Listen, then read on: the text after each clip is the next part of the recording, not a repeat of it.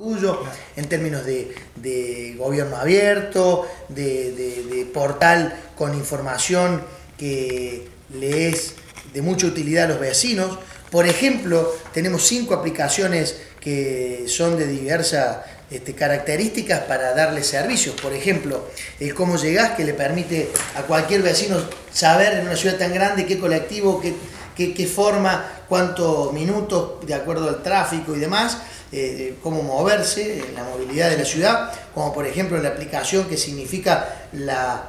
cultura, de toda la información, de todo lo que uno este, tiene eh, de actividades en una ciudad que es muy cosmopolita y que tiene muchas actividades culturales y recreativas, pasando por eh, la Wi-Fi que tenemos en las diferentes paradas de colectivo, que eso también es muy útil, fundamentalmente en el área central, que tiene una gran variedad turística y eso ayuda mucho también para los tiempos de espera, el transporte público a, los turistas que están visitando y también para todos aquellos usuarios,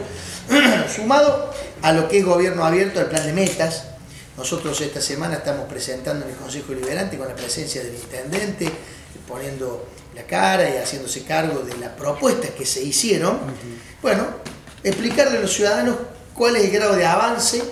cuál es el grado de ejecución de esas políticas y cuáles son las obras que, o acciones que todavía no, no hemos podido iniciarlas. Es de alguna manera un ida y vuelta de decirle a la gente, esto prometemos, esto cumplimos, esto hacemos y esto no hacemos. Sí, y eso ha sido bastante innovador en la Argentina. ¿eh? Sí, es muy este innovador. Hemos, hemos sido este, el primer municipio que lo pusimos en marcha. Hay otros municipios que ahora están tomando esa iniciativa y también nos llena de orgullo, porque la verdad que de la misma manera que en los 80 mi padre profundizó la descentralización,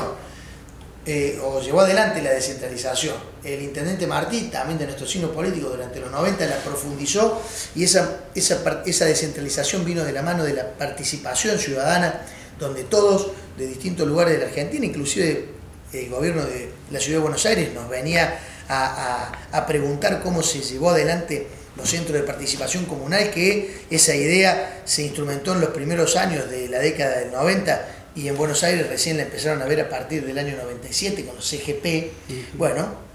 son ideas que surgen de Córdoba. Y hoy, de nuevo, estamos a la vanguardia con políticas de gobierno abierta, con mejoramiento eh, de lo que es la modernización, no solamente interna, sino también dándole oportunidades a los vecinos para que conozcan, para que puedan tomar decisiones, para que nos, nos controlen, para que sea más transparente, y también en este ejercicio en donde la democracia siendo imperfecta con, en esta ciudad eh, y en el área metropolitana de Córdoba, con informaciones tristes, lacerantes, donde la pobreza eh, hace que de 10, 4 estén en esa situación, superando inclusive algunos sectores del conurbano bonaerense. Eh, nosotros todos los días apostamos a, poder modernizarla, a poder ponerla en mejores condiciones a la ciudad y para que no solamente los cordobeses la disfruten, sino también todos aquellos que vengan a visitarla puedan disfrutar de, una Córdoba que cada día está más linda. Sí, hay un común denominador entre la gente que hemos visitado el